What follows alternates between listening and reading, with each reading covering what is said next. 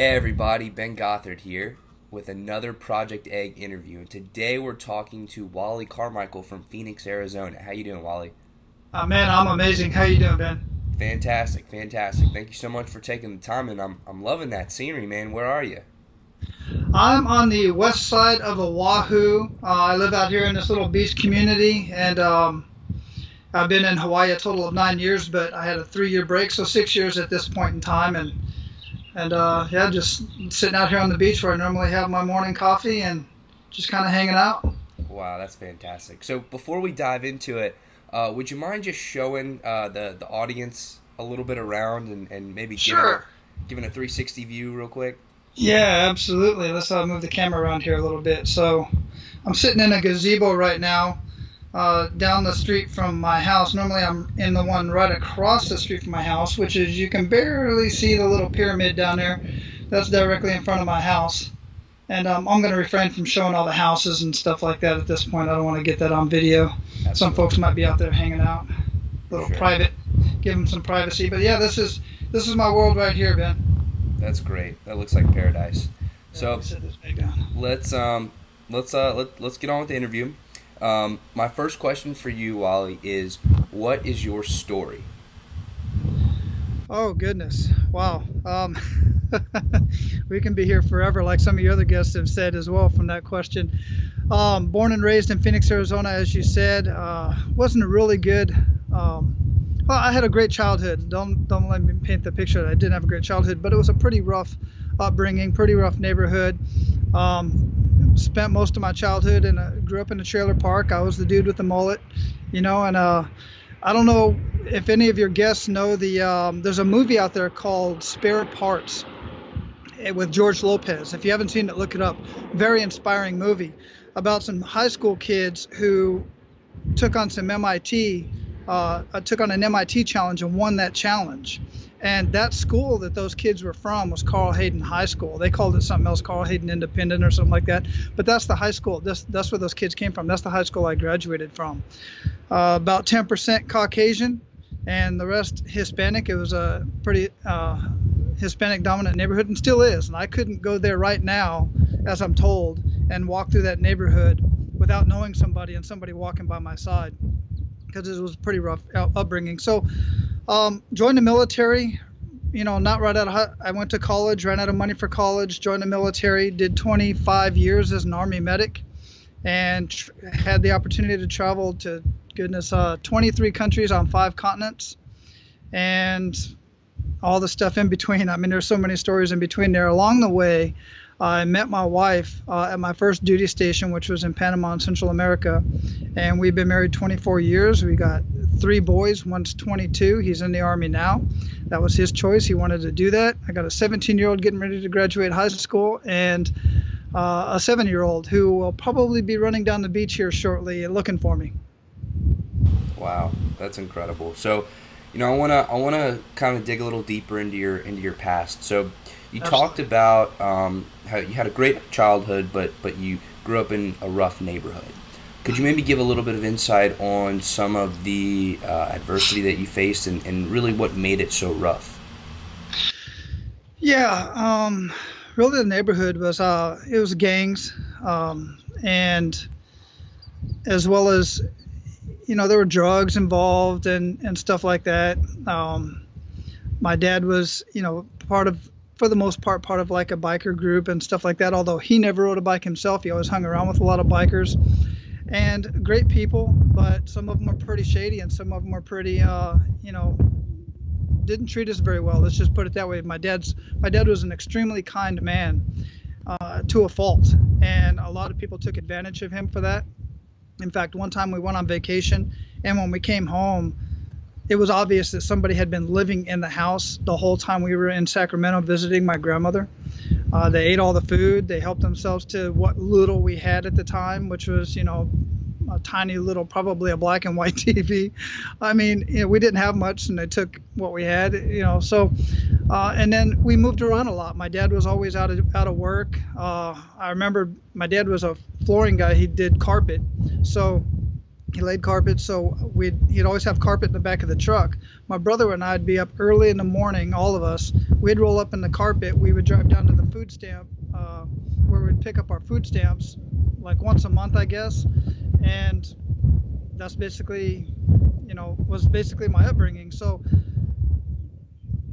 as well as the neighborhood I lived in, there were always, you know, gang fights and stuff like that. It wasn't nothing like as bad as LA would be, like that type, if you imagine that type of gangs, but little gangs and pockets here and there, little cliques. And being a long blonde haired white boy in that environment was challenging, but I wouldn't change it for the world. It made me who I am today. I got some amazing friends. Some of them are in prison, some of them didn't make it, and some of them are doing very well. Uh, you know, we just lived through that type of stuff. So and then uh, at one point while I was in college and ran out of money for college, my uncle was a first sergeant, my dad's brother. My dad was drafted in the army many years ago and got out. My uncle enlisted and he retired with 30 years. But when he was a first sergeant, he told me, look, join the military. You're not going to get, you know, you'll be able to travel. You'll get your education eventually. And my answer was not no, but hell no. I had no interest whatsoever. And then finally one day I just got fed up working two full-time jobs, trying to get back into college and get an education because I knew I didn't want to live, continue living in the environment I was living in. So I had to do something. I had to get out. And finally one day I just said, that's it. I went to the recruiter and enlisted as an Army medic. That's crazy. So, you know, I definitely want to want to dig a little bit deeper into um, into how that kind of came into play. Um, but before we move on from your childhood, what do you you said that it helped to um, mold you into the person that you were today? What sort of things did you learn growing up in that sort of environment that has now contributed to your success today? The biggest thing is I have very little fear. very little fear. Uh, I have no fear of, of getting on the phone and calling somebody. If if somebody gave me, um, you know, um, goodness, who am I thinking of? Uh, Tony Robbins' number right now, for instance, or anybody. If I had their number right here, I'd call them and say, "Hey, brother, let's uh, let's talk. Let's get on the uh, the podcast as we'll talk about later, Men of Abundance." I say, "Let's talk. You know, I have something I want to ask you specifically for my audience." Uh, even when I was in the military, I went airborne, jumped out of airplanes. I've been skydiving. Um, sometimes I think I'm a little fearless again to a fault, and it rubs off on my kids. My kids are the same way, uh, especially my seven-year-old. He jumps at anything, like a lot of kids do. But I just teach them don't have fear, you know, because you never know what the outcome is going to be. I got into a lot of fights when I was a young man, and a lot of it had to do because of my brother. My little brother my little brother was smaller than me and i'm not a big man and uh, but he had that little man syndrome and every time somebody come up and said hey sa you was talking stuff to me you know me and my brothers i'm not going to cuss or anything like they were. And uh, i said look dude it wasn't me it was probably my brother because we looked a lot alike at the time but you're not going to fight my brother so let's go you know and it's just it, i think so the biggest thing to answer your question was uh, just uh, I have very little fear of uh, taking chances, doing things I feel that I need to do or things that I even want to do. And you know, for for entrepreneurs, I do think that being able to handle that fear is an important characteristic, right? If you're gonna either quit your job or jump full time into entrepreneurship, it's risky. You know, for for some people, it, it's it's a lot more risky than others, and so you got to be able to handle that fear and overcome it. So I'm I'm really glad that you brought that up. Now, for entrepreneurs who maybe struggle with that, what advice would you give to them to help them overcome that fear? Uh, one of the biggest things I would say is to get an accountability partner or a coach. I think that's, you know, and action. Those two things. Get accountability partner and a coach. But the cure for fear is action. Once you take action, so think about this many people have, at least at one point, jumped off of a high platform, a diving board or something like that, into a pool of water. And most kids, most people, even adults, if they've never done it before, haven't done it in a long time, they're going to hesitate and they're going to sit there and they're going to hesitate. But once they take that first jump, chances are they realize that it's not as bad as they had it in their head. And they're going to realize that, well, I didn't get hurt, I didn't get killed, and actually it was kind of fun. So now I'm going to do it again. And then they do it again and again and again and again. It's because they took that initial action to jump. Matter of fact, ironically enough, you might ask me about this later, but it's relevant right now. The book I'm reading right now is called Jump. And I didn't plan that. I, it just came up in my head, but it's probably because I'm reading this darn book. Um, just jump, just take action. The cure for fear is action, and it helps greatly to have an accountability partner or a coach or a mentor, somebody who has been there and done it before you that can give you some pointers to kind of subside some of the fear because most of the time what is fear? Fear is is is, is the unknown. You don't know what's on the other side. So once you eliminate some of that it makes it easier to take action absolutely now you mentioned having an accountability partner or a coach or even a mentor is really instrumental in, in helping get over that fear. Well, for somebody who maybe doesn't know, and, and I agree with you completely, um, but for somebody who maybe doesn't know how to reach out to those people or find those people or get somebody like that, how would you advise them to go find that individual? First and foremost, pick up their book. If they've written a book or they've got a course on anything, uh, I've got many, many coaches. Jim Rohn is one of my coaches. Never met the guy. I've traveled many, many miles with him in my car. Uh, uh, Tony Robbins, as I mentioned, same thing. Uh, and I take little bits from everybody. I don't agree with everything everybody says, but I take little bits from everybody. So number one is get their book or get their course.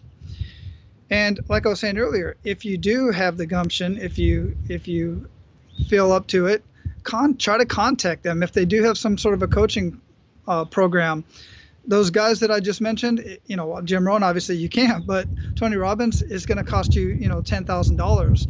There's other people out there, and here's a point I want to make on this right here on getting a coach and finding somebody. Find somebody who's a little bit. This is my personal opinion. Find somebody who's a little bit closer to where you're at, a little bit higher. So if you're here in your business venture, you're just getting started, you want somebody who's recently gotten started in the last two to five years, has some has a track record, right?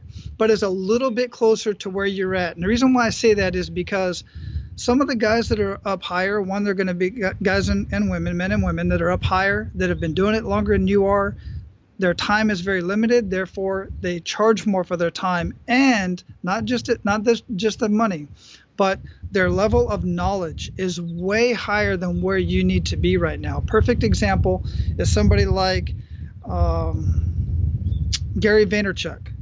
All right? So many people want to be gary vaynerchuk who he is today and they want to start following what he's doing. He's on Snapchat, he's on Periscope, he's on Twitter, he's on everything. He's on everything new. He's on stuff you don't even know that's out there yet. All right. And he's doing all of this stuff. And you see he's got VaynerMedia. But see, what a lot of people are failing to realize, and it's just not just Gary, it's many other people, are failing to realize where Gary came from when he was doing going door to door and going to yard sales and picking up little trinkets and toys and stuff like that and putting them on eBay and putting now putting them on Craigslist and putting them on stuff like that, and had the little YouTube channel that he had with his wine business. So, what I'm referring to is the curse of knowledge. They have the curse of knowledge. They may not remember where they started from. Therefore, they have a hard time if unless they have a course that's specifically geared towards you and where you're at today. You're going to have a hard time following and keeping up with that particular course and that coaching and that uh, mentorship. Does that make sense? Absolutely. And and I think that you bring up a really good point. You know, if they've been doing it for 10, 15, 20 years, then they might be a little bit out of touch from when you first started or when they first started. And so I think that's a really good uh, concept of find somebody who maybe two to five years ahead of you because they just did it. They, they, they know exactly what they did to get to where they are and it's still fresh in their mind. So I'm, I'm really glad you brought up that point. Now, right. let's. I want to move on a little bit to your um, st- still in your past, but but a little bit further than your childhood. So, um, you had a you had a rough upbringing, but then um, from high school, did you go straight into college, and where did you go to college? And, and can you maybe give some insight on, on those years of your life? Actually, um, right out of high school, I had a full ride scholarship. Actually, it was a community college, but it was a big deal to me. I had a full ride scholarship for track. I was a very fast young man. I don't know if you've ever seen this. An old movie called The Jericho Mile. I was the dude with the long blonde hair running track, and uh, I had a full ride scholarship. They were going to pay for everything, and I was just going to run for um, Phoenix Community College. I declined. I did not wasn't interested. I didn't do well in school. I wasn't interested in doing more school and uh, I really just kind of wanted to get on with my life, and even though I had no idea what that meant, so I worked in the restaurant industry for for quite a while.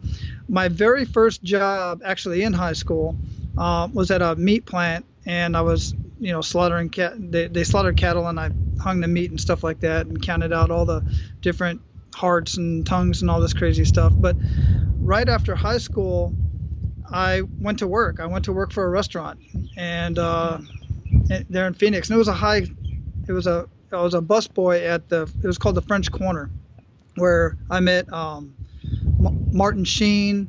Uh, a lot of celebrities would come in and out of that place, and finally, uh, then I took on another job working at the it was called the Wigwam Resort, where a lot of uh, senators and retirees end up going. And uh, like I said, I was working those two jobs, trying to get back in, trying to get to college. And then once I got into college, I was paying my own way, ran out of money, then started doing the same thing over again. Took on two more jobs, trying to get raise more money to get back into college. And originally, I was going to college. Uh, I originally in high school wanted to be an attorney, and I didn't realize how many different types of attorneys there were. But uh, along the way, I realized in high school the one subject I was good at in high school was anatomy and physiology. I excelled in that. So I knew I wanted to do something medical.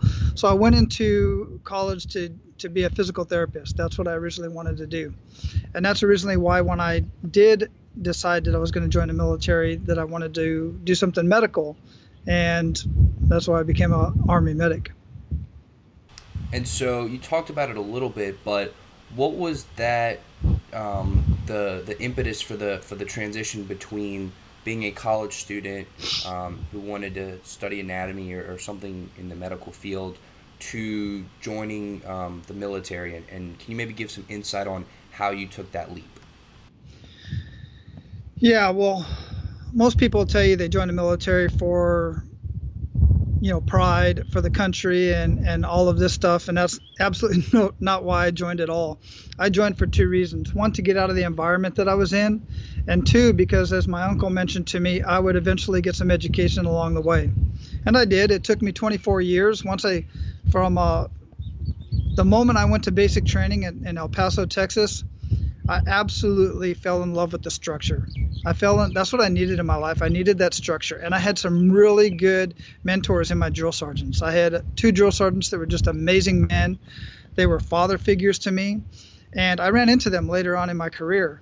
But um, I loved it from that point on. But when my uncle had that conversation with me, he was home on leave. And he said, like I said earlier, he said, look, you know, the military isn't for everybody, but based on what you want to do, you're going to get out of this environment and you're going to get some education along the way.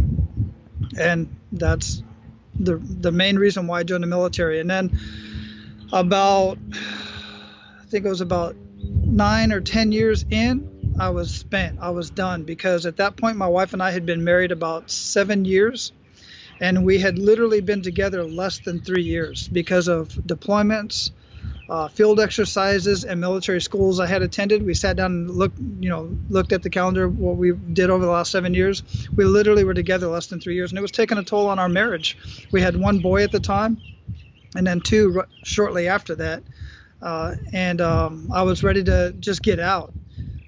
I got reassigned to El Paso, back to where I started from, and again had some really good mentors and really good leaders put me in good positions kind of caught my second wind if you will and then went ahead and re-enlisted and 25 years later i just retired two two years ago. Matter of fact this month two years ago. Well that's incredible and and thank you very much for for everything that you've done. Um, but could you maybe um, could you maybe give a little bit of insight on um, what what you learned in that in that time and, and what sort of uh, things you, you brought back from, from that experience that has now led to your success today? From the military experience? Yes. Okay. Leadership, uh, being able to operate and, and manage people. Uh, you know, I, I was only like three years in before I got promoted to sergeant. And at that point in time is when you start becoming a leader of soldiers and actually before that because they promote you based on your not just your potential of what you're going to do but what you've already done. And you've already shown potential in leadership. So i mean one of my first assignments while i was in the military was when i was stationed in panama i went to bolivia for three months. And i was the one of two medics uh, with a group of engineers that were drilling water wells in in uh, in Bolivia. And see, these are these are the assignments, these are the missions, these are the things that most people don't realize that the military do, did and still does. Bolivia was in a five-year water drought, and we were there drilling water wells. And one of the things I learned from that first experience was one I had never been outside of Phoenix other than California, and then here I am in Panama, and seeing how people live there in Panama.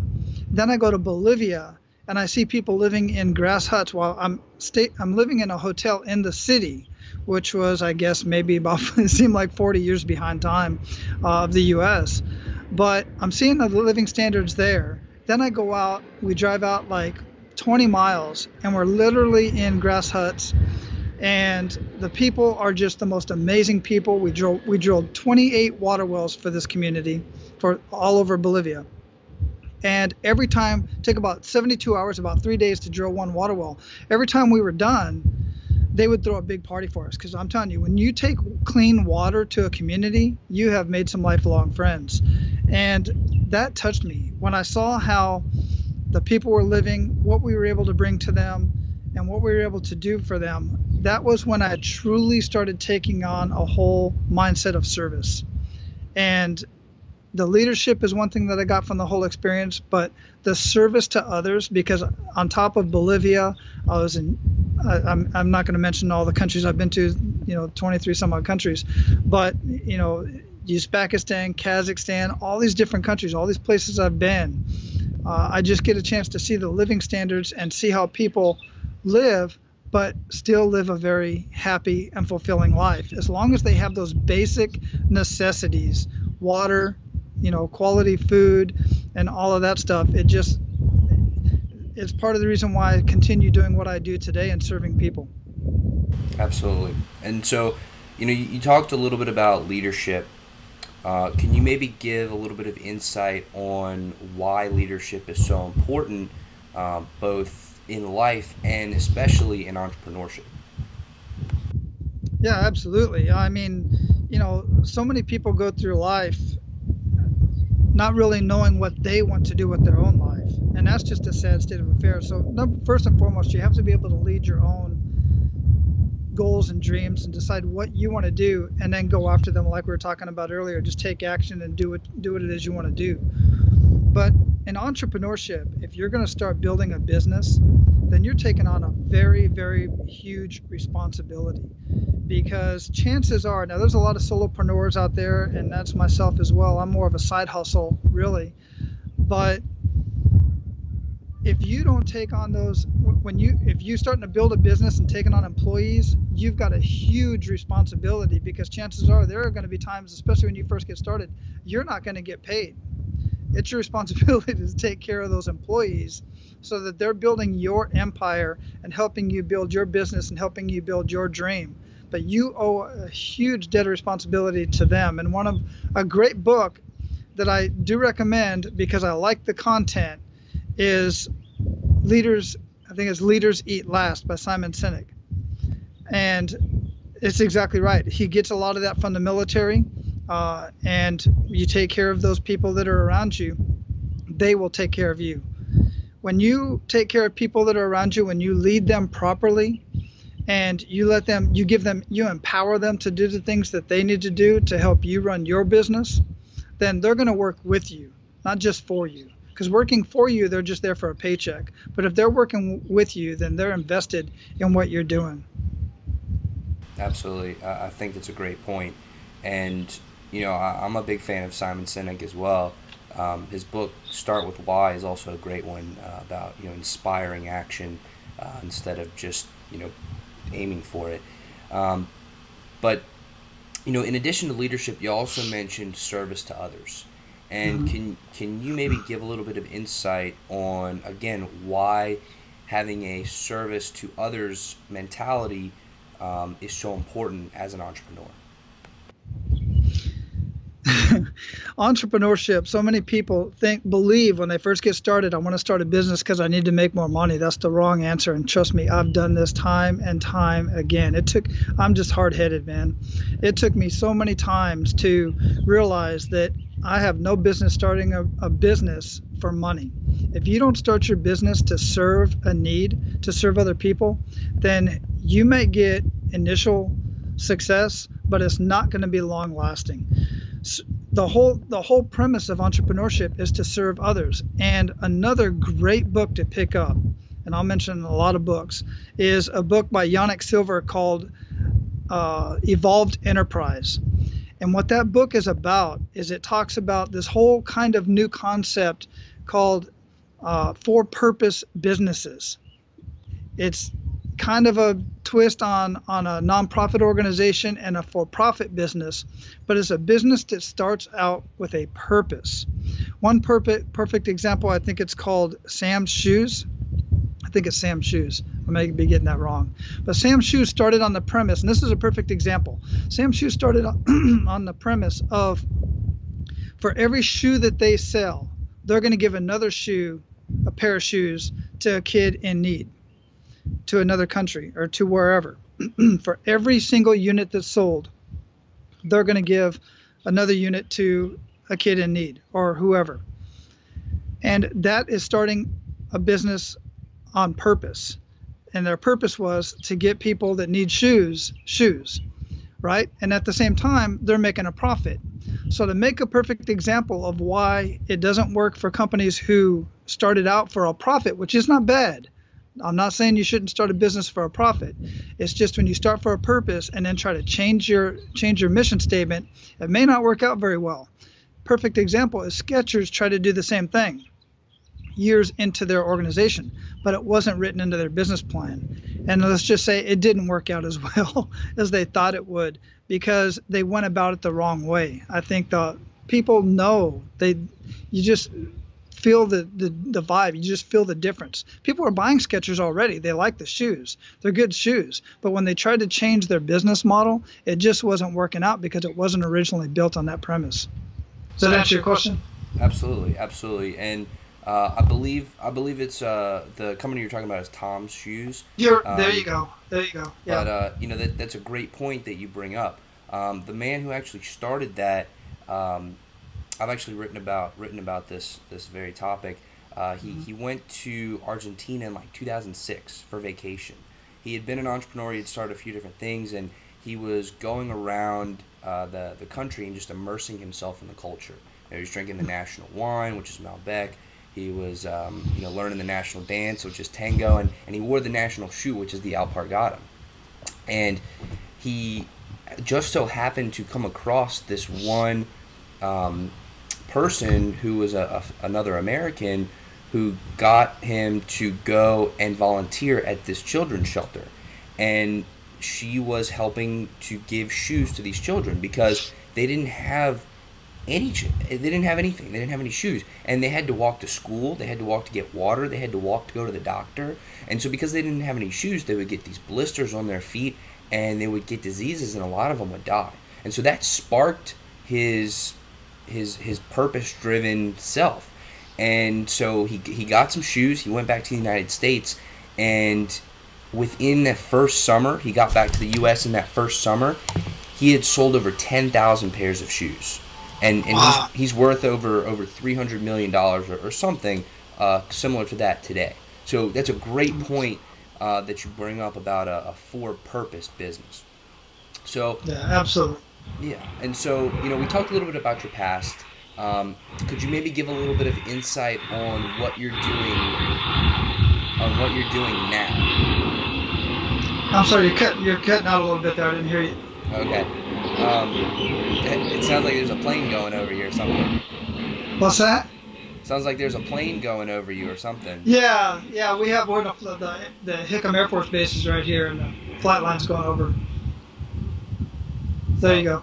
anyways, um, we, we talked a little bit about your past. I want to talk about what you're doing now. Um, you know, what, what are you working on? Where's your focus? Where's your head at? Uh, and, and what are you really doing right now?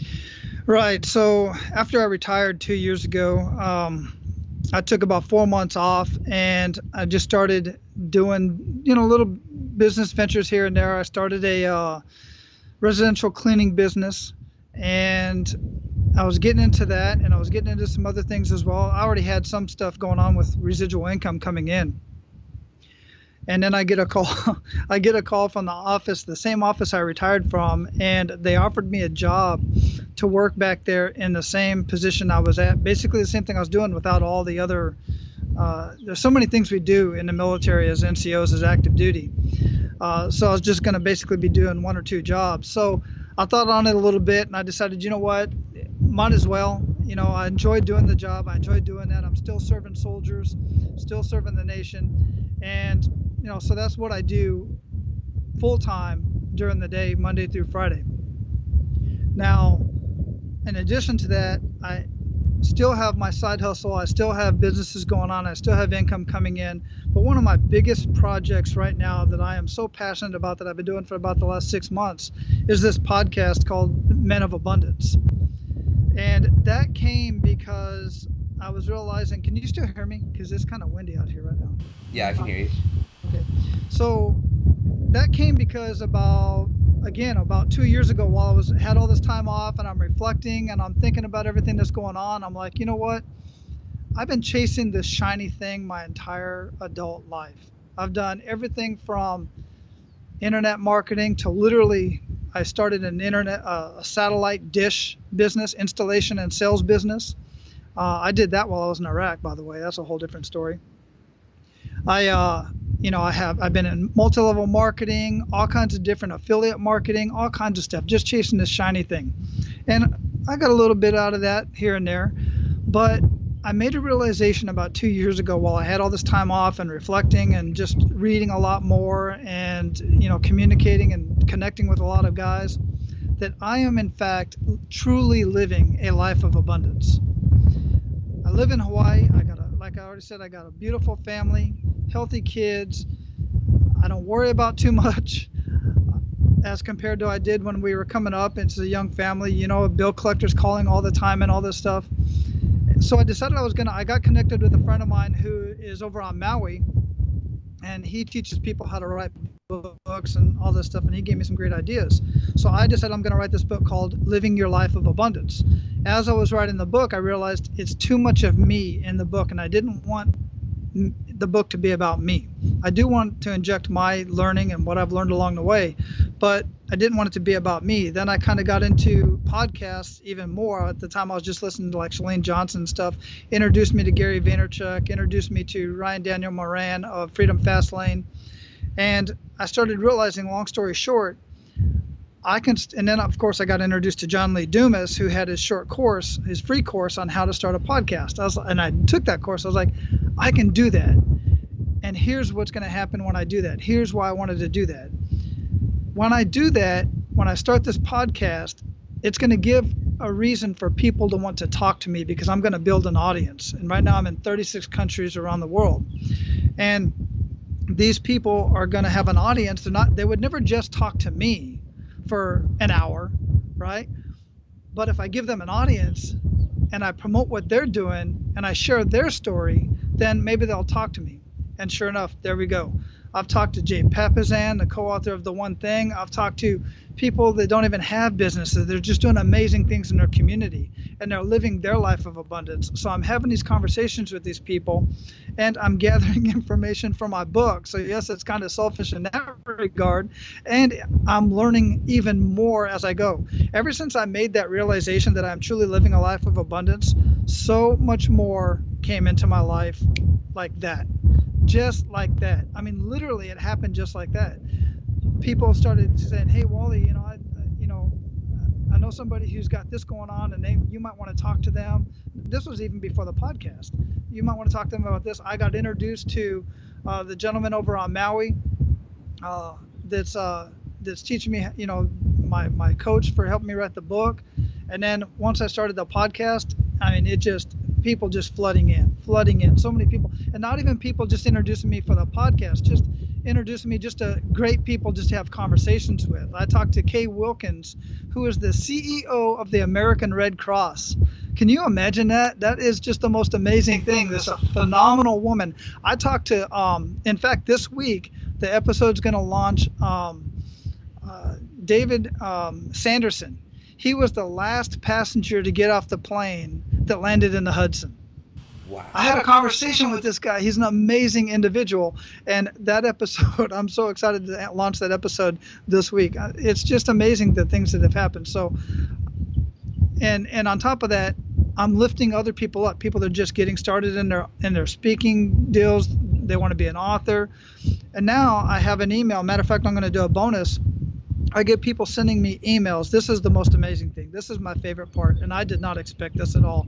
It wasn't part of my whole thought process, but I knew I could help some guys out by sharing these conversations. But now I get emails, and I'm going to read one later. It's going to be a bonus episode that's going to launch tomorrow, that's going to post tomorrow, from a guy who tells me he's come. I've completely changed his life between myself and the guests that I've had on. It's completely um, helped him take that action we were talking about earlier. He's been afraid to take action, and now he's taking an action and starting his own real estate business. Skills he already has, he's just been sitting on it, and he's partnering with somebody else.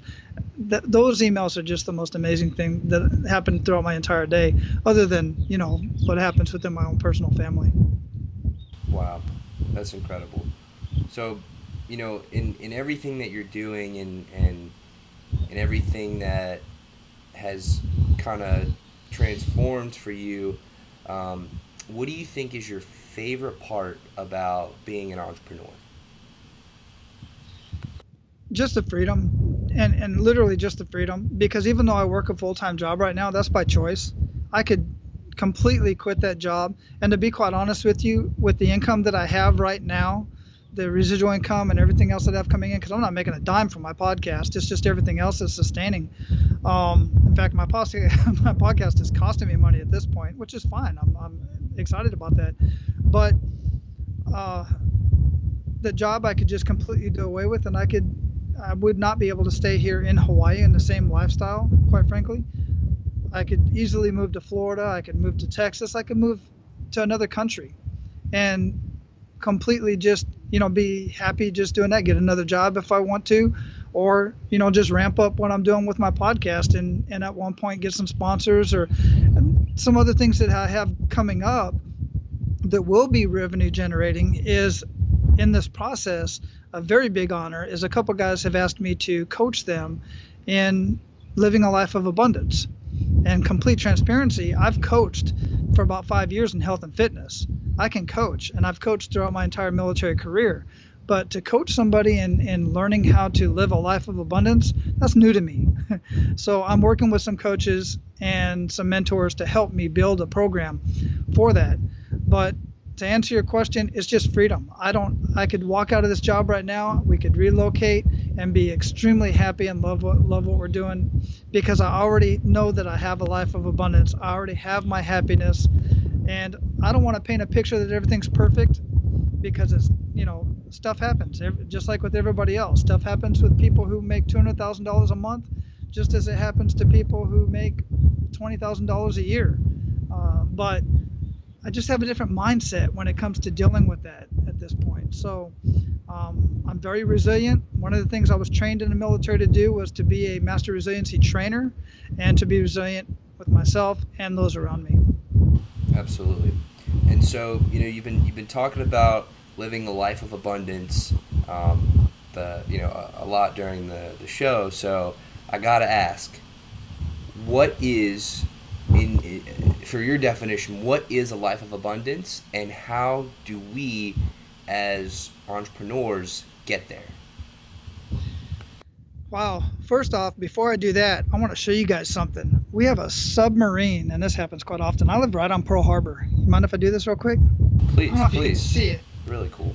I don't even know if you can see it. There's a submarine going through the channel. Wow. Right now. Can you see it? Yeah, yeah, we can see it. That's awesome. It's moving. Isn't that sweet? Yeah, it's really cool. That's rare, man. well, it happens here all the time, but it's rare for other people to be able to see that. Um, living a life of abundance to me is just like, you know, really being an entrepreneur, but you do not have to be an entrepreneur to live a life of abundance. A full on 100% entrepreneur, because I'm not at this point. Like I said, I still have a full time job because I truly enjoy what I'm doing. If you enjoy what you're doing and you're able to provide for your family, and here's the extra key to living a life of abundance for me. This is my definition is to be able to give to others to be able to do something for others. And it doesn't always mean writing a check. It doesn't always mean going to the soup you know going downtown and and feeding the homeless which we have plenty here in hawaii.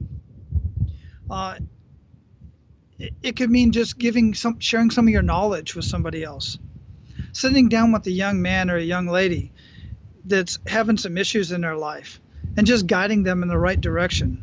Because unfortunately some of them don't have the parental guidance that they should. And that's not on their parents because some of their parents weren't raised properly and they don't have the skills and knowledge and sometimes your kids those kids don't even want to listen to their parents even though they do have the skills and knowledge case in point one of the guys that i've recently connected with through the podcast uh, that i've personally interviewed also works with kids and helping them build a their own business my 17 year old is extremely entrepreneurial, so I'm connecting them to. And he's doing that pro bono. He's not charging anything. He's going to work with my son to help him get his business. I, I that just makes me feel so good just even saying that. So, sum it up, living a life of abundance is doing what you truly love to do having the freedom to make the decisions that you want to make for yourself and your family, and being able to give back to your community, to others, or on an even global scale, like Pencils of Promise or something of that nature, or like we were talking about earlier, Tom's Shoes. Um, and I apologize for getting that wrong, but that's just my brain. I just got so much stuff going on, I don't always recall everything perfectly. But, um, and how you can do it, wow, that's what I'm working on, man Ben, that's that's what I'm working on. I mean, to to number one, the easiest thing to do is just to realize everything you have around you. The one thing that I'll tell you to do, start doing right away, right now, that will make a difference, is to have an attitude of gratitude every single morning. Every morning I wake up, even before I get out of bed, and somebody's name pops into my head, and it could be my wife or it could be somebody I hadn't talked to in years. And I'll and I'll and I'm a, I'm a religious man. I'm a man of faith, and I'll, I'll say a prayer for them. And when I get up in the morning, and part of my morning routine is I write in my journals. I actually have four journals that I write in. And one of them starts out with gratitude. What am I grateful for today? Sometimes it's almost always my wife, my kids, but sometimes it's something as simple as I had a dry bed to sleep in last night. You know, I had I have a coffee pot to wake up to. You know, I have clean water to wake up to any number of things, but every single day, write it down. Every single day. You don't have to keep it. Write it down and throw it away if you want to. But every single day, something about putting pen to paper and writing down what you're grateful for and saying it. And one, I'll give you one other tip that I do, and I'm doing it right now. Look in the mirror in the morning and smile. I'm talking a huge smile. Smile you cannot be angry. You cannot be sad. You cannot be you're just going to start your whole day off when you, you, when you see somebody when you see a baby smile try not to smile. You just got to smile. So i know it sounds kind of weird i know but trust me these are the things that i know works for me. Give it a try. Might work for you too. Absolutely and that that really is great advice. Um, because i think when you when you start the day off and you're you're just showing gratitude and you're basically telling yourself, wow, things could be so much worse. And I'm so glad that I am who I am and I am where I am and um, I have what I have. And you know, if you if you look at it from that point of view, I absolutely agree with you. I mean, your whole day is just gonna be it's it's gonna be so much better. Um, and then to the point of smiling, you're absolutely right. You're absolutely right. I mean, I actually think it's scientifically proven when you smile, you and and and you kind of force yourself to smile a little bit.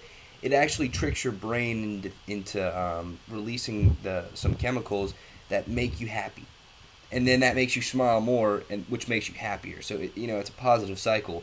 Um, but but yeah, absolutely. I challenge. I actually would like to challenge everybody that's listening um, to start doing that every day. Wake up, say at least one thing that you're grateful for, and, and put a big old smile on your face. Um, you know, I, I, definitely thank you for for that tip. So, you know, we talked a little bit about your past. Uh, we talked a little bit about what you're doing now. Uh, but but what does the future hold for you? Um, like where where do you see yourself going in the next couple years? Oh wow. Um, actually, you know, 25 years in the military. We, my, my family and I moved every three to four years. Generally, every three years. We only stayed one other location four years, and we've been here six years. so it's about time for us to relocate. So we're already looking for uh, someplace in Florida because we just got to have this type of weather. And I know it's hotter in Florida, but it's right now it's about maybe 75, 80 degrees. Um, but we see us relocating in the near future, uh, Florida or Texas. But as far as what we'll be doing, when we do relocate, I see myself putting full 100% uh, focus and attention and effort into my Men of Abundance community and my Men of Abundance podcast. I already put a lot of hours into this. I absolutely love what I'm doing. I started out as a three day a week show, technically a four day a week show, but really a three day a week interview show and I came out of the gates way too fast. I underestimated how much work it takes. So, some guys, you know, um, Jeff Woods and and many other podcasters has been out there for quite a while. I had a conversation with them, and they said, "Look, dude, break it down to one one day a week. Focus more on on sharing your content and and writing your blog. And by the way, my blog, I do video blogs. I do live Facebook videos." And then I, they post directly to my blog on my live journey at, at Men of Abundance. But um, yeah, I see me just putting more time and effort into that and really just growing this whole community. And eventually, possibly, one thing I would like to do is start traveling around and, and speaking about it and talking about it and just sharing to a broader audience uh, for those who want to listen and those who want to live a life of abundance and just live happily those are the conversations I would like to travel around and have. Absolutely. So, um, if you had to say, and I still want, uh, you know, I still want to talk about your future. If uh, if you had to say the one thing that you had to accomplish in your lifetime, what would that be? What would you want to leave behind as your legacy? My boys. I mean, it sounds cliche, but truly, just to be uh, an example to my boys and that my efforts in life live on with them. On a bigger scale, uh, I'm already I'm putting content out there that's going to be out there forever as long as podcasts survive. you know, uh, and I repurpose a lot of that stuff into video and, and my blog and stuff like that. Uh, I would like to live on a broader scale. I would like to leave a much bigger impact. I want to write a couple books. Uh, one I already mentioned, living your life of abundance. I've got some others that are in my head that are just dying, just screaming to be set free. Uh, and uh, so, yeah, I definitely want to do that. I want to have some content out there, some evergreen content, and some knowledge and information that would help others along their journey. One of the things that we find as we go through life, especially as you start having kids and raising them, is, and even just look around, we don't learn from those that have already come before us. We just don't. And we all know we should. As we get older, we know, dang, I wish I would have known that when I was 15, but at 15, I wasn't receptive to that. You know, it's just the way it is. So everybody's at different stages of their lives, and I would like to provide content for those who reach that stage and are ready to live that life of abundance. That's awesome, man. Well, if uh, if, if anybody wanted to reach out to you and, and get in contact with you, uh, what would be the best way that they could? The best way is just to go to menofabundance.com. Everything is there. Um, I could sit here and listen, list all the social media, all the social platforms that I'm on, but they're all listed up there at the top of the web page. I'm on Twitter, LinkedIn, Instagram, YouTube. I mean, they're all up. They're all up there. So, uh, yeah, the quickest way, easiest way is just go to menofabundance.com and uh, check out the podcast if it's something that uh, you know just might be something that'll inspire you. Absolutely, and and I have one more question for you, uh, and then we'll then we'll wrap up the show for today. but is there anything about yourself that you think is an important part of who you are that I did not ask you about today? In other words, what did I miss? You did pretty good. I like your questions. I like I like the uh, everything that you asked me. I just have. Uh, I think I already said it though, but I already I just have this huge desire to serve. Uh, as as much as I did, you know, I want to make a point that when people think about the military, they think about all these movies that you see and Platoon and you know Band of Brothers and all this other kind of stuff, but in a peacetime environment, and even when we're at war, we're still doing peacetime efforts. Most of my missions, most of the things that I've done in the military, I did spend a year in, in Iraq uh, and uh, and Albania. Those were not necessarily peacetime, but we do some amazing things for the world. We really do. Drilling water wells for Bolivia, um, building houses and schools throughout South and Central America. I was involved with all of that, and it just it's just a life of servitude. It really is, and that's what I want to continue doing. I just want to continue serving others, sharing my knowledge. Uh, been married 24 years. I see people, you know, on the internet all the time having troubles with their family, with their with their finances. Uh, that's a real issue. And one point I want to make about that right there, for those of you out there who are Spe- specifically, I want to speak specifically to those who may be in like in network marketing industry or something like that. Some of those are sold and trying to get people to buy a Ferrari next week and and make a million bucks in even five years. Man, don't focus on that. $250 a month will change a family's life. $500 a month will change a family's life quit thinking about how much money you're going to make off of this individual and think about how you're going to serve that person at where they're at today. Where are they at today? What's truly going to be the best benefit for them? And that comes from my giving mentality. That comes from my attitude of gratitude and, and wanting to serve others. Absolutely fantastic. So for everybody listening, I, I do want to I do want to thank you and, and Wally. I want to thank you for coming on the show today definitely go check out his podcast if you want to live a life of abundance. Um, and I think everybody does. So I very highly suggest that you check that out. Um, Wally's a great guy. Uh, reach out to him. Uh, you will. Um, you can definitely benefit from from talking to him. So, uh, but before we go, I just wanted to say thank you um, to again Wally to you, but but also to everybody that's listening. Um, you guys and gals are the reason that we that we do this. Wally and I and um, you know, uh, it, it, brings me great pleasure to be able to, um, you know, have your attention and, and, and have some of your time. Uh, so I hope that you find value in this show and this podcast. And I just want to say thank you so much for listening. So, to everybody, this has been another Project Egg interview. Today we've been talking to Wally Carmichael from Phoenix, Arizona. Take care. Aloha. Take care, guys.